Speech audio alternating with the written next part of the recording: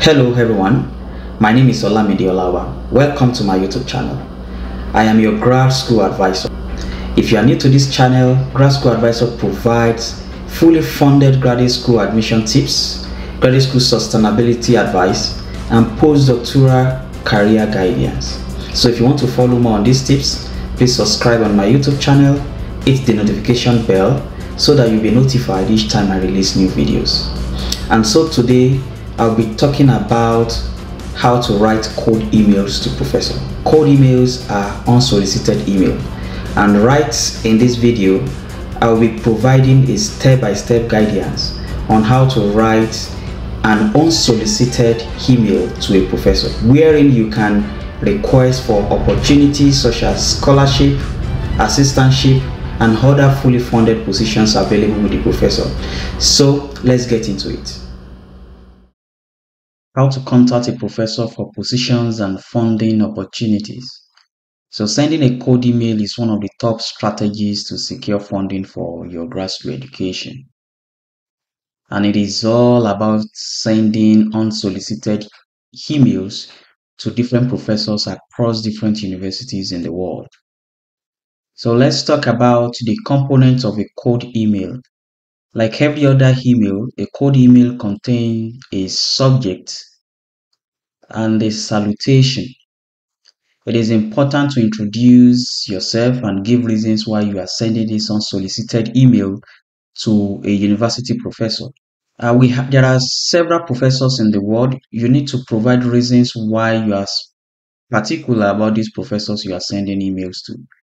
And this may include you trying to indicate how you get to know about the professor. Again, it is important to provide your research experience or just one out of all your research experience. Brag about your results and conclude on a good note. You should have a signature which will contain your name and affiliation. And finally, you should attach some documents to support the evidence you have provided in the content of your cold email. So right now we are going to be discussing each of these components.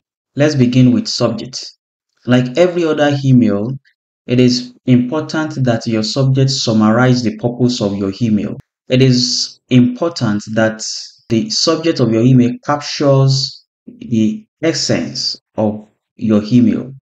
So in this regard, there are some examples that I've listed here. An example is MS advisory request, which captures the request of a particular applicant requesting the professor to become his or her advisor. We also have PhD mentorship requests. And uh, thirdly, we can have application for a fully funded PhD opportunity in your lab. So these are specific subjects that can be written as the subject of an email or a cold email to a university professor. Salutation. Uh, salutation should include the last name of the professor. For instance, if the last name of the professor is Daniels, then you would have Dear Dr. Daniels. Then let's get to the introduction and reason for your email. Now, these are we are getting into the very important aspect of writing a cold email. So this is the introduction and reasons for writing your email these are some of the items you should include in your introduction. These items does uh, do not necessarily uh, need to be included as a whole. There are uh, a bit of flexibility that I would say. Sometimes it may not be important to include the name, your nationality. It may just be your undergrad major um, and several other things. You can include the name, your nationality, your undergraduate major, your master's major, your previous university, and where you are, what you are currently doing. It is particularly important to state what you are currently doing. Again, you want to talk about the reasons for sending an email to a professor. Are you sending an email for scholarship inquiry, for assistantship available positions or, or other interests? So the other interest may simply include you trying to request that the professor become your advisor, professor become your PhD mentor. So these are the major things that you may want to include as part of the reasons for you to send an unsolicited email for a particular professor in a particular university. This is an example of the introduction written by an, an applicant. I read, I am a graduate of mass communication and a current master's student in the broadcasting department at Victoria University of Wellington, New Zealand. This is the introduction from the student or the applicant. So the student went on to state reasons why he's writing this cold email to the professor. I read, this fall, I want to apply for a PhD position in mass communication at Harvard University. Thus, I am writing to notify you of my deep interest to join your team. So this is a very good introduction and a reason for sending an email to a university professor. The next thing is why the professor. And here it is important to state how you get to know about the professor.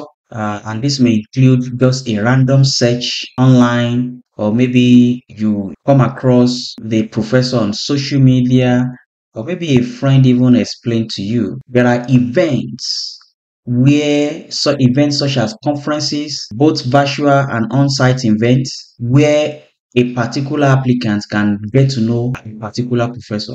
So it is also possible to know a professor through his publications. A, and as an applicant, you might have read some uh, publications where the principal investigator comes to your mind. If the work of a particular research group is appealing to you and you feel like sending an email to make inquiry about available positions, it is one of those reasons you want to include in your email. And again, it is important to emphasize how similar your interest is, what exactly is your interest. Try and provide an opportunity to talk about how aligned your interest is to the research interest of the professor in question. Let's talk about an example. I read, following your advertisement that specified your need for a motivated PhD student to work for your new R01 grant. This is to say that this student get to know about this professor through an advertisement on a social platform.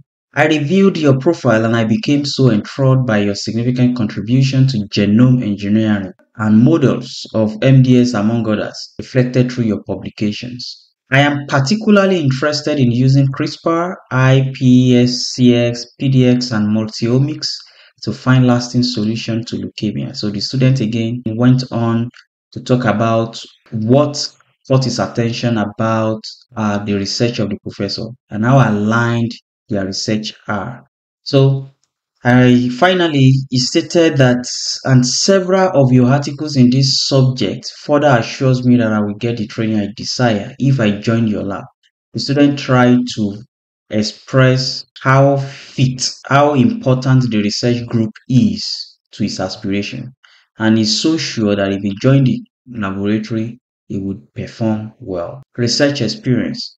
You want to summarize one of your previous research. You don't want to state or talk about all your research, but you want to pick one of the major research you have done in the past. When you are reporting research, it is important to stress the problem of the research, the knowledge gap you filled with your research, and state the central hypothesis, the key methodology you used, your major findings, and the significance of your work. I have explained this part, especially in one of my videos on how to write a stellar statement of purpose for to secure a fully funded graduate school admission.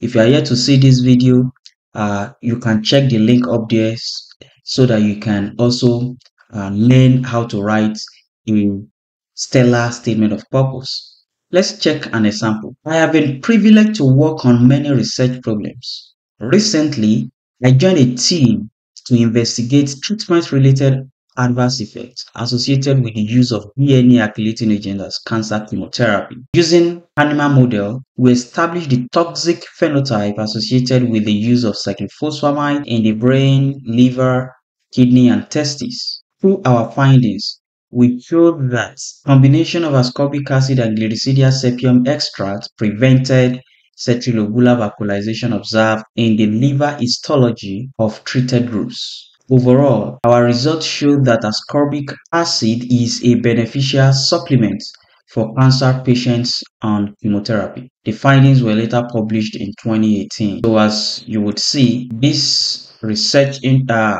this research experience contains the problem, the methodology, the findings, and the significance, which are uh, differentially color coded. Brag about your results. You should have a section wherein you'll be able to brag about your results. If you have good BS, bachelor's transcript or master's transcript, you want to brag about your results. If you have good GRE score, brag about your GRE score. And if you have some very good language proficiency score, it is also important to brag about it. So let's check one example of such. My ability is further reflected in my transcripts, GRE score, and Duolingo English test, which are attached in this email. So far, I have significant teaching experience and I'm particularly open public speaking opportunities such as presentation, undergraduate teaching and training in the lab.